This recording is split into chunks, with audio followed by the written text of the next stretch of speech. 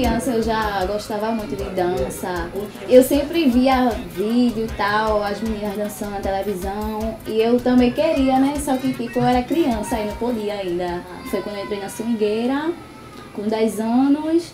Quando completei 16, comecei a dançar brega com o Dread GG. Depois passei um tempo com eles, depois comecei com um MC menor e agora eu tô dançando com Troia. Troia, Troinha. É o Troinha, cara! Ui, ui,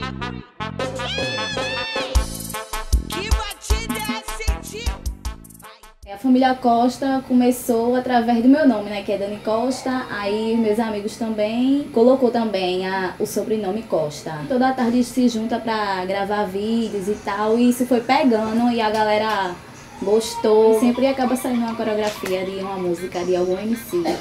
Às vezes nem nós quatro tá no momento, às vezes é só dois. As coreografias, tipo, é tudo, tudo vem da mente mesmo.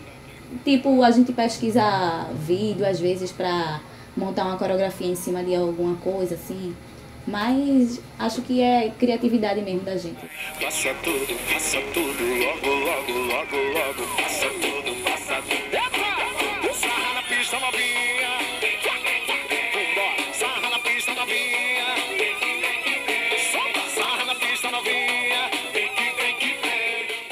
sempre procuro ver o que eu vou postar, né? Porque tem coisas que realmente não se posta. Eu só posto mesmo o que eu vivo.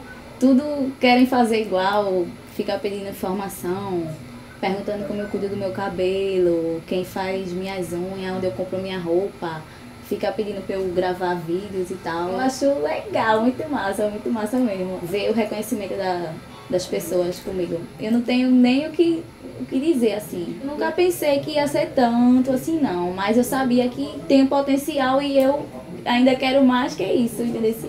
Quero mais, eu sei que eu consigo mais.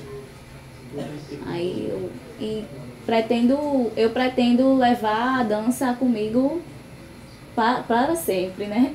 Acho que até trabalhar também com a dança. A dança para mim, eu acho que é expressão, sentimento bom, porque quando eu danço eu me sinto bem, eu esqueço qualquer problema que eu tenho, esqueço tudo mesmo, me sinto feliz realmente.